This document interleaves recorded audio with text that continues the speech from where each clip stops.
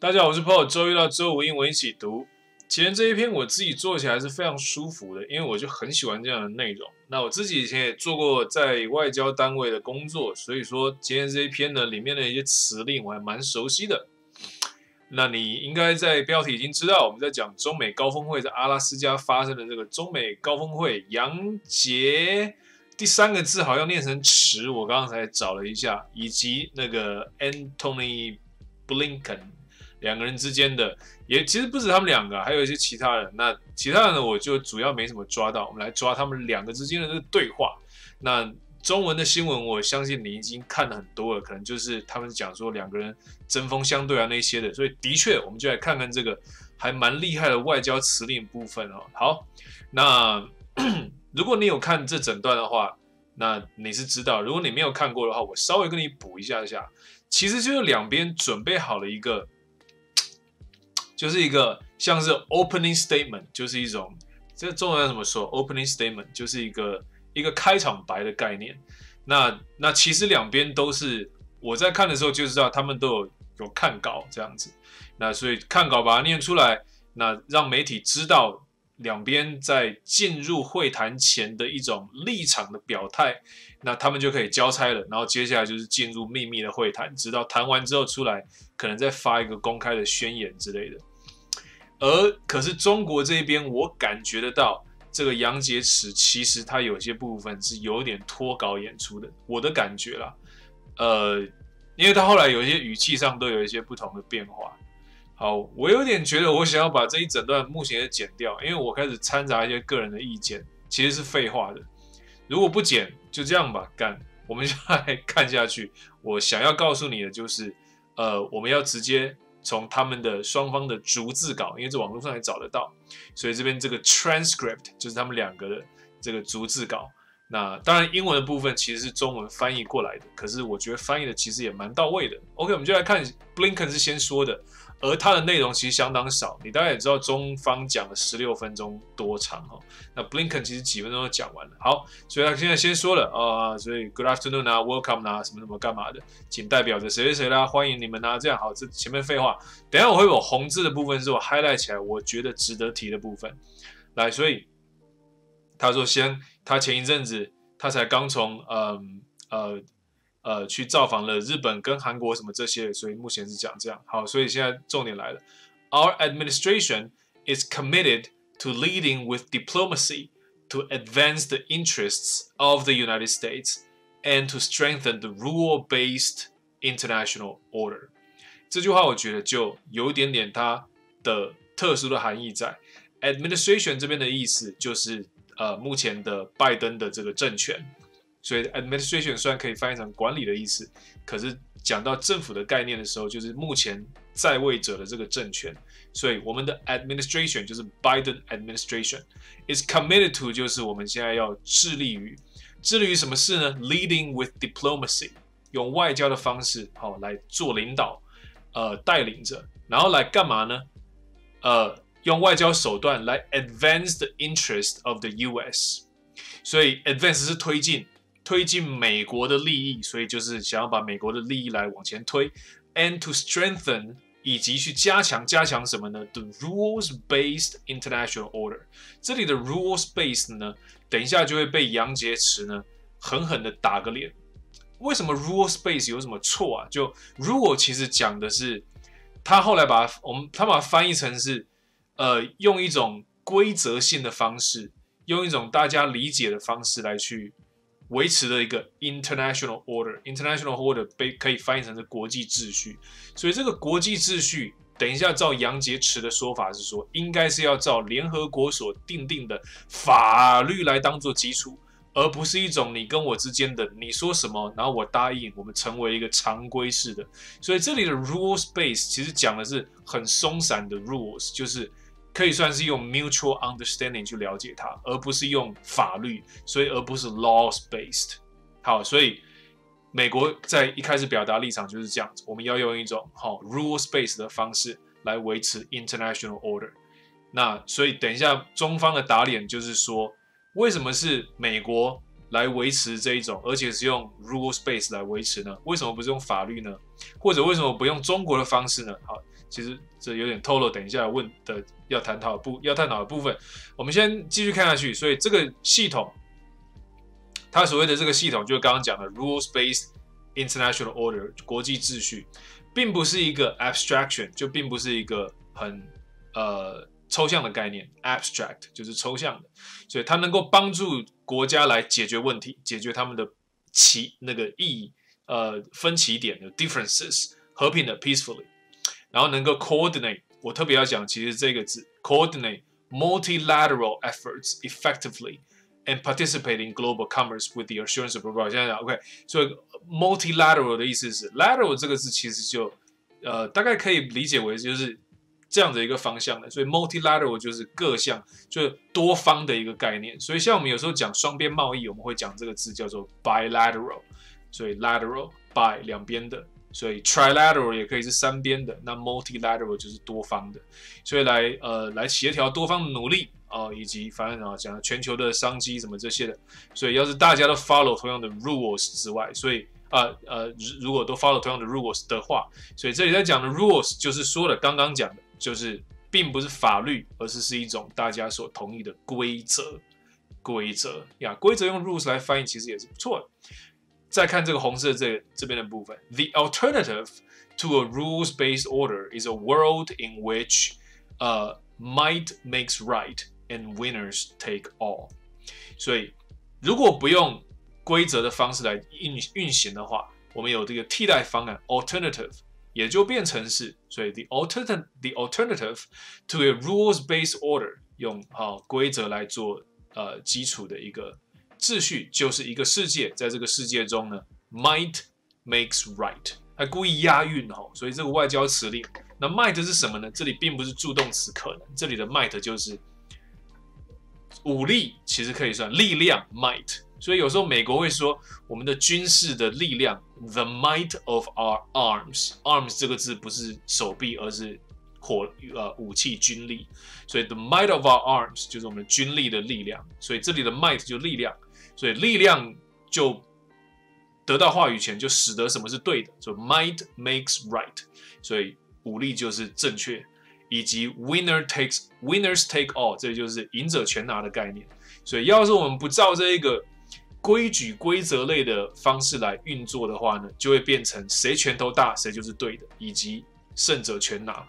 你看讲的毫无霸气，其实感觉，但是它的辞令之下含义的就是这个意思。就是拳头大的人就是老大，他认为这样是不对的。可是我身为一个不是白人的一个立场，我看到这句话，我就会觉得，哦，你说这样说的很漂亮。可是你美国明明就是世界警察，你这句话其实是在打你自己的脸呢。好，这没关系，我们先不要太多我自己的解释，继续讲下去，讲到后来下面一个点，这边也是一样，我们看到又是红色的，so。Today we'll have an opportunity to discuss key priorities。所以今天我们会有一个机会来讨论一些关键的 priority，就是优先顺序、轻重缓急。我们要讨论一些这个部分，both domestic and global, so that China can better understand our administration's intentions and approach。所以想要讨论这一些部分，而这一些部分就是国内的以及全球的。到底国内、全球是谁的国内呢？所以其实他讲的当然不是美国国内，他要讨论的就是中国国内的问题。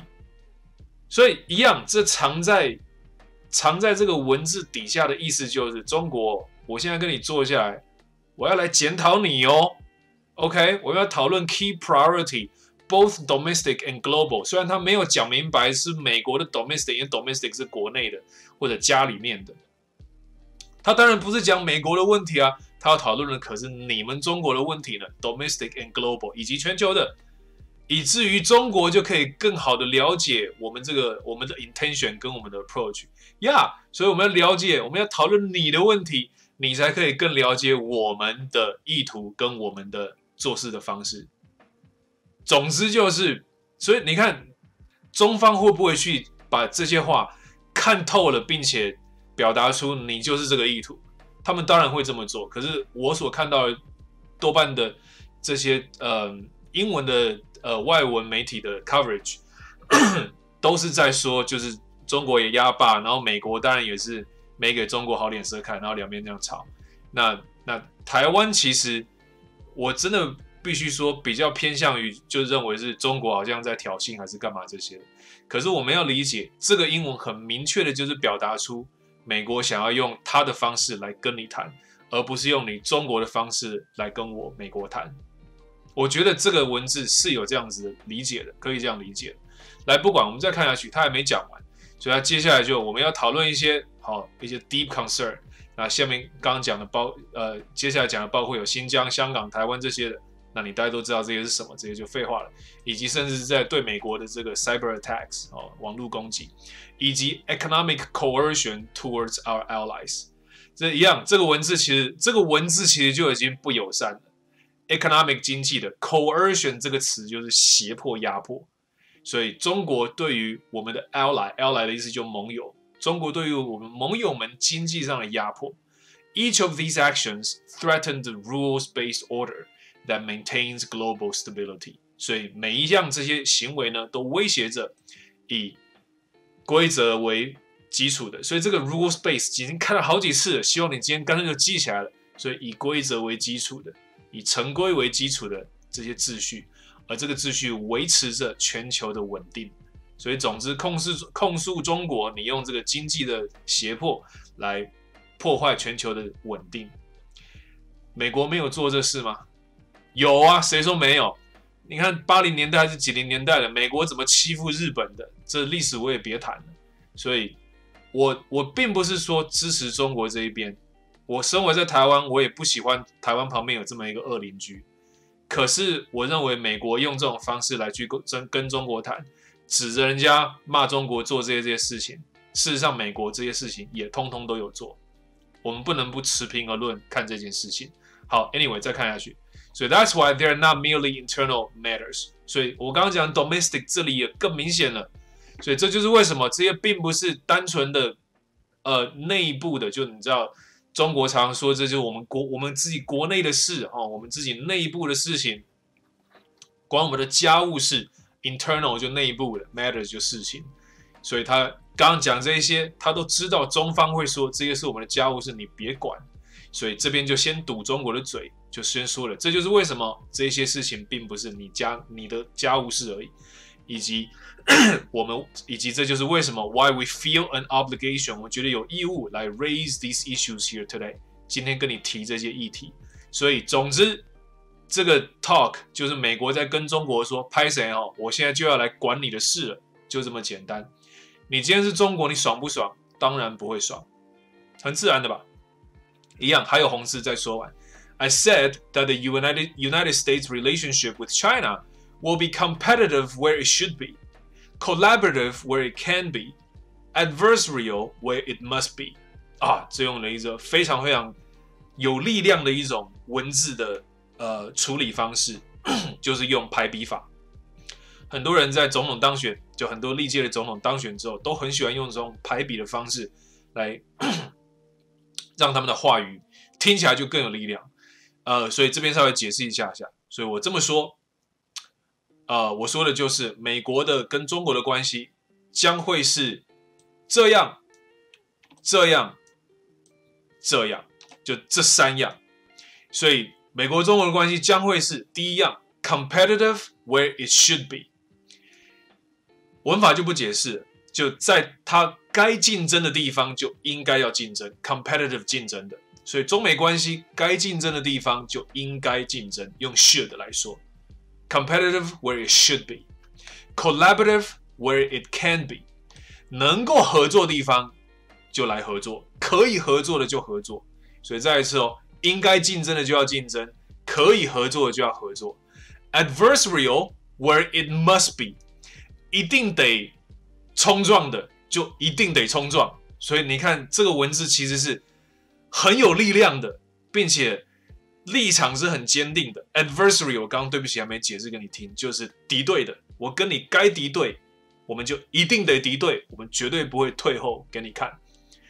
所以用了一个 must，你看他刚刚用了三个助动词，所以 competitive where it should be，should 是一个感觉比较弱的，应该竞争就应该竞争 collaborative where it can be，可以合作就可以合作，can，但是最后用了一个必要的、一定的 must，所以一定得敌对的，我们就来一定要敌对，很屌，OK，这句话我认为是其实真的媒体都没扩这一些，我认为媒体真的应该解析这漂亮的英文，但他们不做，我来做没有问题。好，所以那我们现在在这里的阿拉斯加今天的讨论。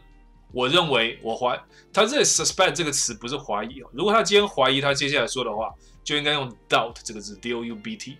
suspect 就是我我我觉得会。其实 suspect 这个词后面接的句子就是我觉得的确是这样子的。所以我预测，我预测我们在这里阿拉斯加的会谈，我 round the gamut。这个 round the gamut 一个片语，也就是所有范围都会盖得到。所以刚刚讲的上面这三点，该合作的要合作。对不起。呃，该竞争的要竞争，该合作的可以合作的我就可以合作，但是该敌对就敌对，这些我们都会谈到的。有没有挑衅意味？你听不出来有，你可能会觉得我的文字用的漂亮，然后语气讲的和善，可是事实上，它里面的确有挑衅的文字的意涵在里面的，看你愿不愿意去正视它而已。所以我必须要强调，这真的是一个。很厉害的外交词汇上的这种修修修辞学，好，然后接下来换是那个 Sullivan 讲的话，讲了他讲的话，我比较没有抓到有什么好讲的。那我们再看下去，呃，不过这边好像有一句啊，Yes，就又讲到了，他等于是有点去帮他刚刚刚帮那个 Blinken 刚的，就等于是 support 他的一些这个重点，所以呃，但有没有点缓夹呢？或许有，所以这句话说的是 We do not see conflict。but we welcome stiff competition and we will always stand up for our principles, for our people, and for our friends.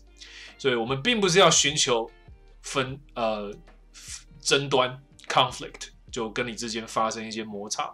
我不是我们不是要寻求 conflict，but we welcome stiff competition。competition 有呃竞争，stiff 就是很硬的，但我们会欢迎呢跟你之间硬碰硬的竞争。All right, and we will always stand up for our principles. 而我们永远会 替我们的这个原则站起来。那原则其实讲的就刚一样的，我刚我们刚刚已经告诉你了，我们用 rules base 来 run international order. That's our principles, and we will stand up for our principles，以及 for our people，以及 for 我们的朋友们，朋友们叫 allies。那你看这句话讲到这里，你你听不出来那是你的事，我听得出来就是。总之，我们支持，我要建立我们刚刚这些立场，以及我们会跟我们的朋友们站在一起。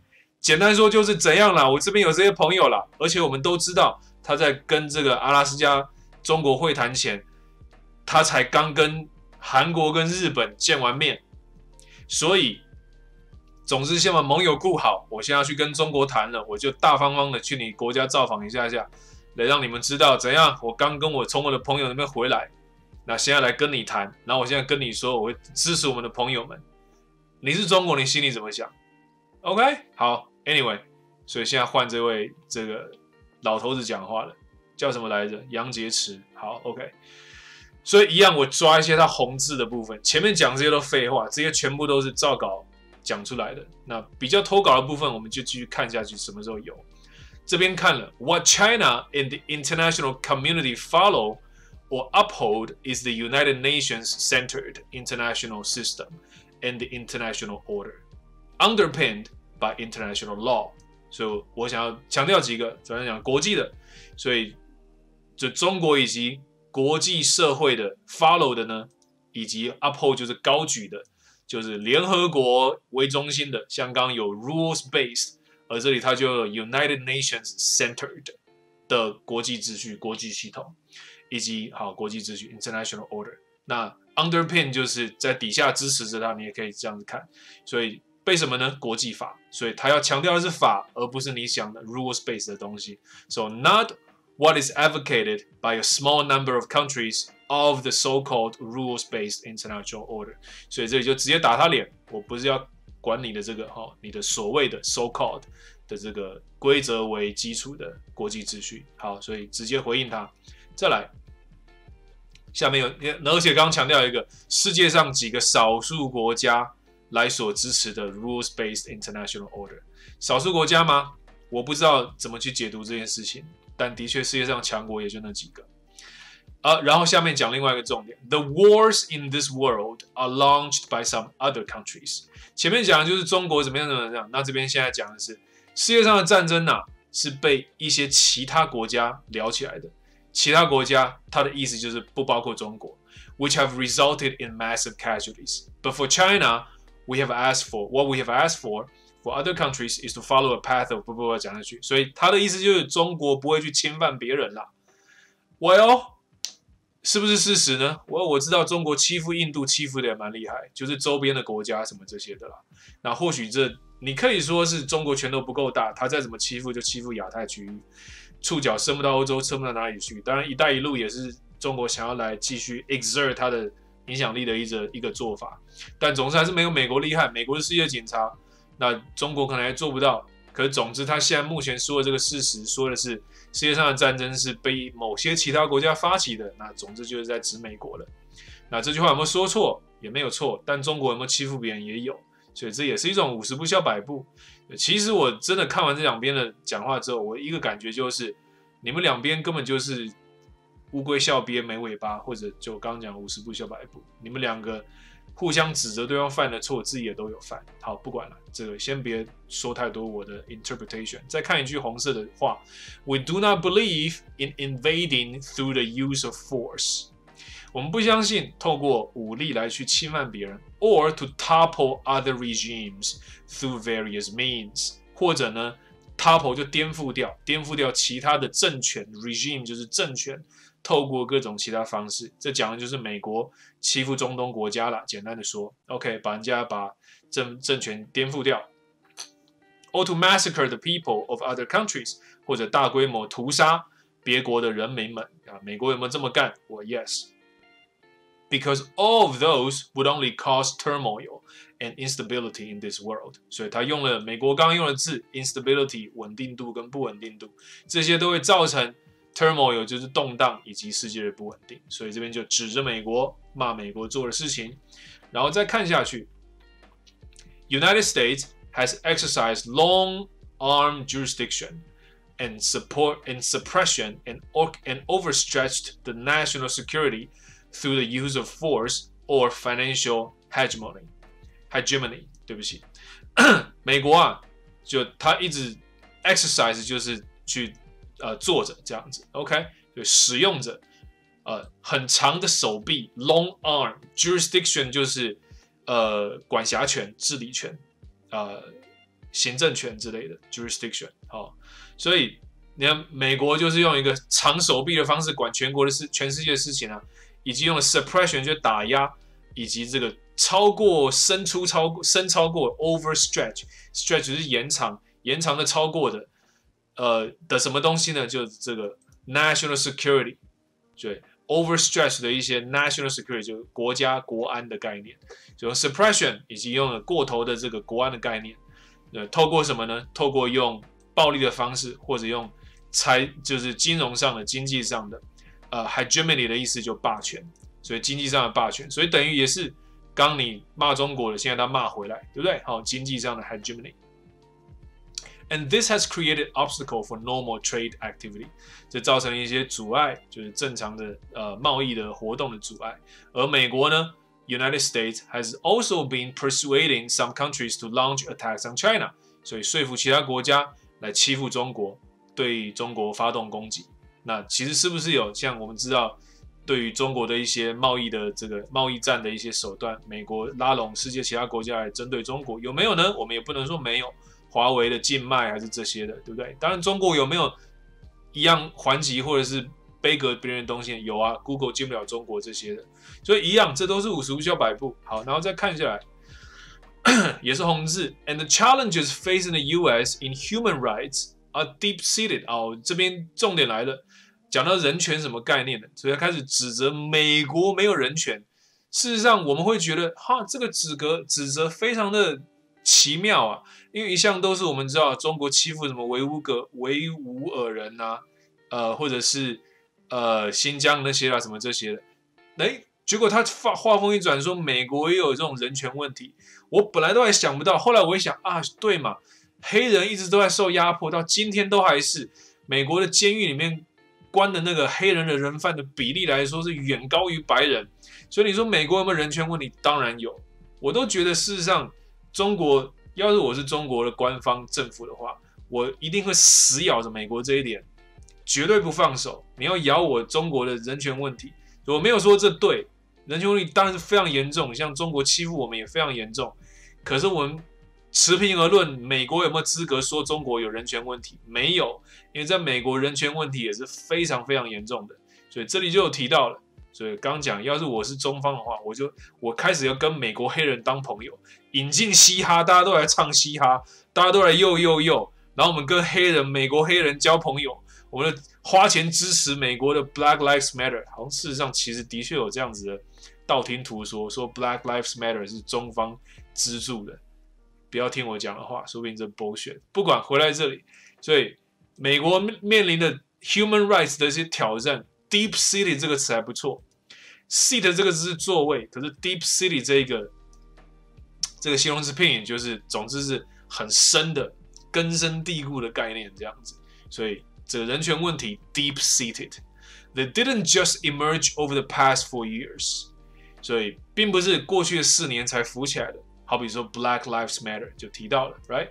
事实上，中国就是杨洁篪没有讲到 Black Lives Matter 这样的词汇，翻译成英文之后才出现了 Black Lives Matter。他在中文只有讲到什么欺压黑人之类的，我就不信这老人家知道什么叫做 Black Lives Matter。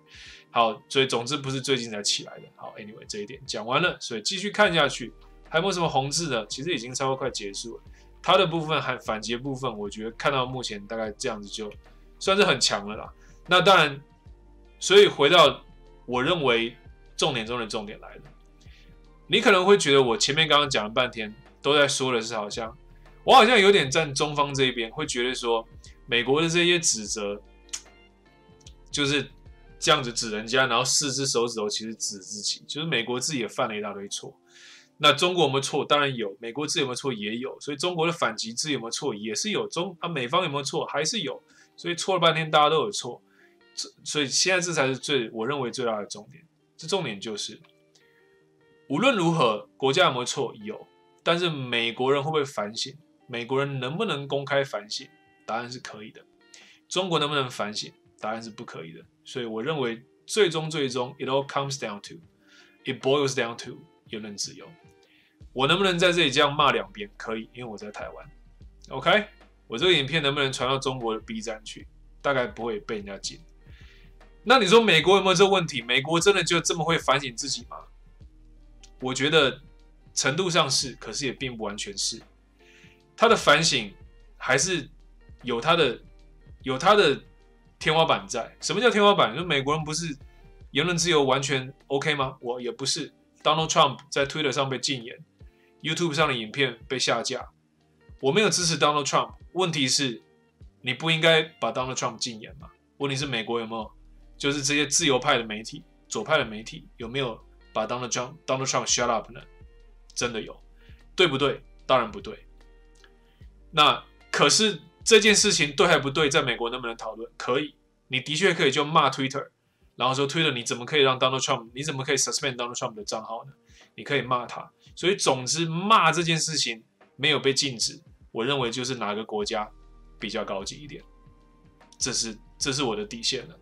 所以最后这个呃，Blinken 他有他们两边讲完了 opening statement 之后，其实理当就应该结束。可是 Blinken 忍不住就反驳了一下了，而且中国方洋方也他也又反驳了，所以他们有交火驳火一几句话，这是事实，而且翻译也很厉害的，因为这完全就变脱稿演出了，其实。所以，所以媒体报道没有错，他们真的到最后，这这个博火是真的是脱稿演出的哦。其实，而翻译也蛮厉害，翻译的还蛮到位的。但但是 Blinken 这边他的反击，我觉得强就强在这边来看。所以这边说了，美国啊，就始终有在进行这一个 quest，quest 就是可以被翻译成任务的意思。所以，我我把这边再看一下，There's one more hallmark。of our leadership here at home，所以在美国，我们家里面，我们的我们的领导有另外一个 hallmark，就是你可以把它想成是我们的我们的一个一个一个嗯干中文有时候卡住，真的是 Hallmark。我想找一下 Hallmark，其实是一个卡片的公司，专做卡片的公司。我们找 Hallmark 的中文找一下啊。啊，标志哦，可以了呀。所以，我们美国有一个啊，一个一个标志性的一种领导权威的一种做法，而这就是一个 quest。刚讲 quest 这种任务，他们美国人就进行一个任务，任务就是呢，我们要有没有缔造一个更完美的 union，也就是美国合众国这样子，form a more perfect union。而这不简单，and that quest by definition acknowledges our imperfections，所以这个 quest 在定义上来说，也就是我们认知到我们的不完美。我认为一个国家要是能够去认知到自己的不完美，并且做改变，那就真的是一个，那才能称得上伟大的国家。能够正视自己的不对的地方，像德国在二战后到今天还在反省，我觉得这也是一件好事情。所以德国的纳粹主义能不能够重新抬头，我认为是不可能，因为美，因为德国就一直在反省。所以 acknowledges that we're not perfect，我们认知到我们不完美。We make mistakes，我们会犯错。We have reversals，我们会把把事情倒回来做。我们甚至会 take steps back，也甚至也甚至会开倒车。所以，所以布林肯都承认。我认为承认这件事情就是一个非常非常正面的一件事情。But what we've done throughout our history is to confront those challenges openly, publicly, transparently. 所以，我们去，我们去，我们在历史上，透过历史上，就穿越整个历史上，他们会做的事情，已经做的事情，就是去 confront，就挑战这一些挑战，呃，公公开的、开放的以及透明化的，not trying to ignore 的，不是去无视他们，not trying to pretend pretend they don't exist，不是要假装他们不存在，not trying to sweep them under a rug。这个动词片语也非常的棒，而不是把他们扫到地毯下。这个概念就是，当然我们会觉得扫到地毯下不是会有个凸起的感觉吗？但是在在英语的这个英文这个语言里面，你把东西扫到地毯下，就是就是假装看不到了，因为地毯下就遮住了这样子。And sometimes it's painful，有时候痛；sometimes it's ugly，有时候丑。But each and every time we have come come out stronger, better, more united as a country。所以每一但每一次我们在处理完这些问题之后，我们都会变得更强、更壮，以及更团结，成为一个身为一个国家。当然，这是漂亮的词汇了。你你不能说你你这些话听完以后就信了，因为因为我我还是觉得美国在处理黑人的问题上进步的程度还是不够快，以及可是你看他刚刚都承认了，没有就进步可能不够，甚至可能开倒车，甚至可能干嘛的？True，因为因为。两性就黑人白人的平权，就是 racial 这这个 racial segregation 已经结束这么久了，可是，在一九九几年的时候，还是发生洛杉矶暴动，所以这种积怨还是有可能会反扑回来的。所以有 reversal，有 take step back。那问题是，人家都承认，人家然后人家也说可以公开讨论这些事情，人家都已经这样讲，你能怎么办？你还要指责他吗？你指责也没用，因为他就说呀，我们会检讨啊。那中国有没有这样的态度？没有，所以你被人家来管你的内政，是不是好像也刚好而已？Right, OK。然后他最后讲另外一个蛮重点的，就是拜登曾经说过的话。时任的副总统，他那时候当还是副总统的说过一句话，就他们那时候去造访过习近平。习近平那时候也还只是副总理，好像是。所以那时候，呃，拜登说过一句话，就说了：“It's never a good bet to bet against America。”对，你要是跟美国对赌的话，永远不是一个好的赌博。你要赌博，你就不要跟美国对赌。因为你跟美国对赌一定输，我认为这句话也是霸气十足。说真的，OK，所以我跟你讲了，你永远不要跟美国赌，你跟美国赌一定赌输的。这这个听起来还 OK，因为这句话听起来蛮漂漂亮亮的。问题是有没有透露出一种霸气呢？有，也真的有，所以很厉害。OK，好，所以讲到这边大概也够了。说真的，OK，但那我最后这边有一个羊的最后一个反击，或许或许是。所以，总之，他就说，美国啊，就想要用一种 condescending 的方式来跟中国讲话。It wants to speak to China in a condescending way from a position of strength。你要用一个有力、用力量的位置来跟中国用一种 condescending 的方式讲话。什么叫 condescending？我真的好爱用这，好好喜欢讲解这个字，因为我认为在亚洲的很多地方都会把这个东西视为理所当然，可是这个在欧美国家就会被视为是一种非常非常糟糕的行为。而他这么说，就是美国你啊正在做这样的糟糕行为，而说不定你不自知。什么叫 condescend？简单说，就是我用一种高高在上的态度跟你讲话。我为什么说我们亚洲常有这种东西？因为亚洲有一种问题，就是学长学弟制的概念，你知道？而学长说什么都是对的。所以像你在那边说你啊，国一的时候啊，读书读很辛苦，我们要学什么什么方程式什么干嘛？然后我是你国三学长，我就会说啊，你啊，你到国三就知道了。这样讲话方式就叫做 condescend，就是一种高高在上，说啊你什么都不懂的这种概念。那我们会视为还蛮理所当然的，对不对？也可能也是开玩笑，可是事实上在西方这是常常会被人家检讨的一件事情。所以你会发现很多的外国老师，呃，你会觉得他相对于呃华人世界老师谦冲很多，就是因为他们一直在反省自己，一直在。呃，审审视自己有没有在言谈上或者是行为上不小心去 condescend upon other people。我自己也常常会做这样的反思跟反省，所以，所以我还蛮希望这个概念能够慢慢传到我们东方来的就是。好，Anyway，下面还要讲另外一句话，也是在媒体呃有被一直引用，甚至是有些西方媒体的报道上用的，直接就是这一句来当做他们的标题。他说：“I think we thought too well of the United States。”就是中文讲的是：“Well，我认为呢，我们一开始把美国想太好了。”然后接下来就是骂美国，其实做了一大堆屁事什么之类的。OK，好，然后再来这边也是一样，这红字再说一下给你听。Let me say here that in front of the Chinese side, the United States does not have the qualification to say that it wants to speak to China from a position of strength. OK，这个是不是就是翻译成中文在讲的就是？就是美国没资格跟中国 用什么讲态度讲什么话，我知道这好像已经印成 T 恤了，对不起，我真的脑袋想不起来那个印成 T 恤的那个词是什么，反正就是中国不吃美国这一套的概念是这样子，OK，所以翻译一下这边给你听，所以在中国的前面，美国已经美国没有这个 qualification，就是这个资格，就美国没有资格 to 来说说什么呢？It wants to speak to China。From a position of strength，所以美国没有资格来说，他想要用一个用一个有力量的位置来跟中国讲话。The U.S. side，美国这一边，was not even qualified to say such things even twenty years or thirty years back。就美国啊，你在二十年前跟三十年前就已经没资格跟中国讲这样的话了，because this is not the way to deal with the Chinese people。因为这不是一个来跟中国人。呃，做事情的方式来处理中国人的方式，这个大概就是翻译成“中国人不吃这一套”这句话了。This is not the way to deal with the Chinese people.